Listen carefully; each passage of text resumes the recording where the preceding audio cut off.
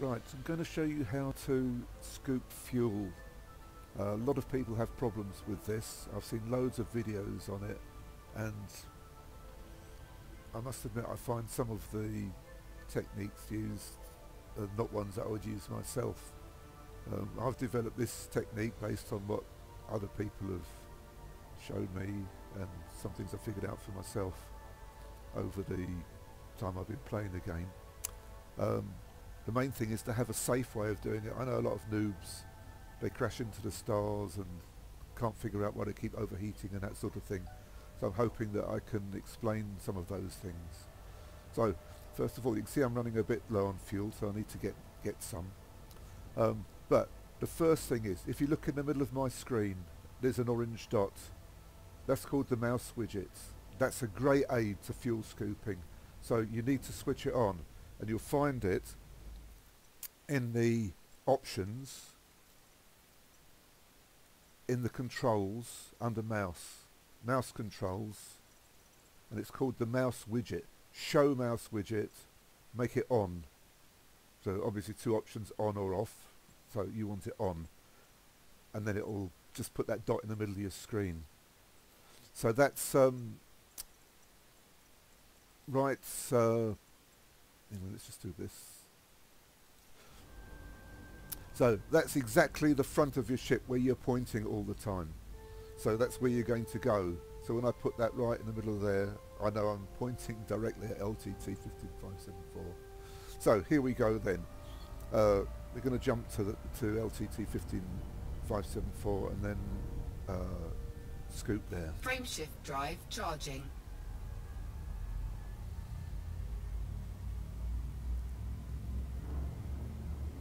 So uh, you'll see it's class type M that just briefly appeared on the top right of the Four, HUD. That's a scoopable two, uh, star. One. The Engage. scoopable ones are KGBFOAM, KGB foam. That's nice and easy to remember. None of the other ones are. So, um,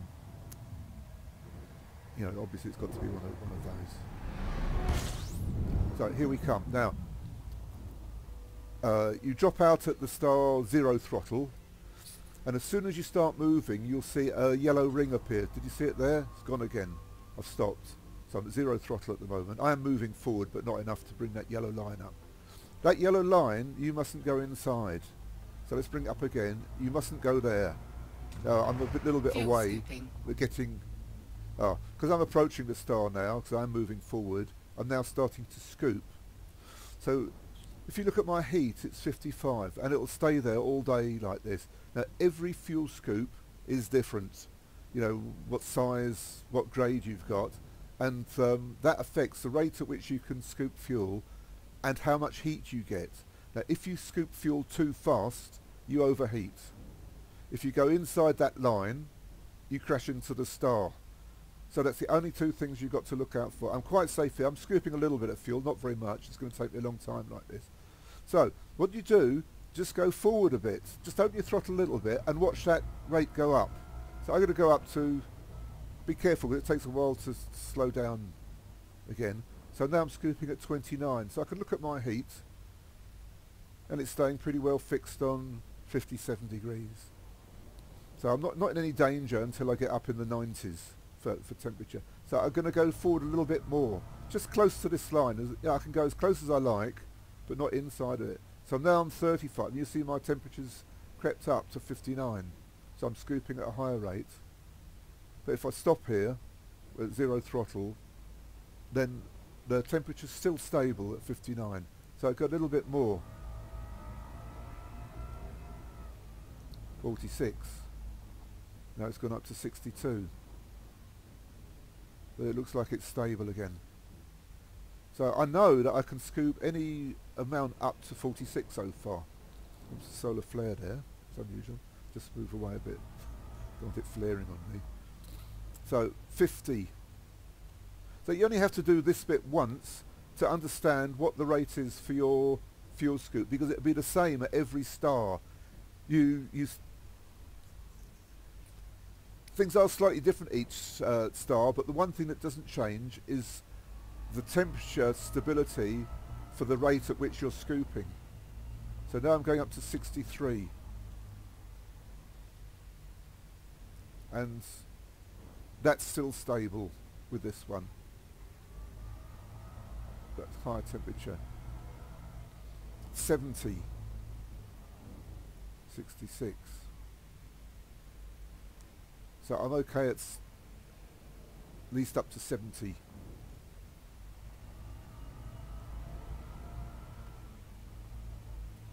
So just about 75, 69 percent heat. So that's stable. Finally, Fuel scooping complete. oh, full up now. But that would have been more than 75, and I'm on 73 degrees. Now that's increasing. 76. Slowly, it did go up. 78. So if I carried on at 75, my temperature would gradually increase. But it's only increasing slowly. Now on some other ships with other fuel scoops, that goes up much more rapidly. So what you need to do is find the maximum rate that you can scoop whilst that temperature stays stable. And once you've found that, you just come to the star, increase your, your, your speed and try and stop when that gets to that rate, bearing in mind it does take you a while to slow down.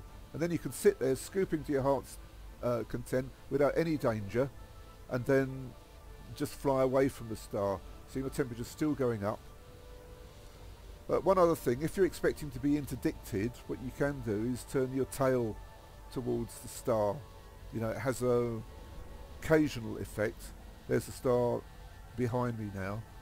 Because when they interdict you, they got to go um, get behind you to interdict you, and it can send them into the star. But I, I think that used to work quite well, but recently they seem to have wised up to that, so they seem better at getting you from behind now. So, 97, I'm going to overheat and start taking damage, so I'm just going to fly away from the star now. Fuel scoop disengaged. Uh, fuel scoops disengaged. That's it. The end of uh, heating now. I can I can get on my way to wherever I want to go. So that, so that's it. So just drop in at zero throttle. Look out for that yellow line. Put your dot on and just move towards the yellow line with your dot outside it, and see what um, fuel scoop fuel rate you can scoop until your temperature starts increasing, and then use that as the guide for next time you do it. Just go a little bit less, and your temperature stays stable. You can sit there all the time, and um, that's that's it. Obviously, if you only what some people do, they just scoop a bit at each star. So in that case, your temperature going up doesn't matter. You can just come in, glide round the, the star. We'll we'll do that. Um, yeah, let's do that now. What I'll, what I'm going to do, I'll go to an, uh, a further away star so I can do it again. So normally when you're en route to somewhere, Frameshift drive charging. um, you might only want to scoop for a short time and scoop, you know, if you're scooping enough that you've covered for your next jump, you can um, just scoop round it as you you go on to the next one. Four, three, two, one. So because your Engage. temperature's going up reasonably slowly, um, you can just get round the star and on your way before you start taking heat damage. So I'm zero throttle now. Just in case it's yeah, a bad star. Right, so I just point my, my widget outside the line. Fuel scooping. Your destination will be round the other side of it anyway. So I'm full throttle now. I've gone up to the maximum. My temperature's heating. You can just turn the thing to the left a little bit to stay close. So your temperature's going up. By that time, say that was the, the system I wanted. Disappointed it. Rate goes down. Fuel scoop disengaged. Uh, fuel scoops disengage. Then you can engage your frame shift drive. Never engage it when you're scooping. You'll overheat. So that's it. Easy as that. So I hope that you found that of use and um, might see you in another video.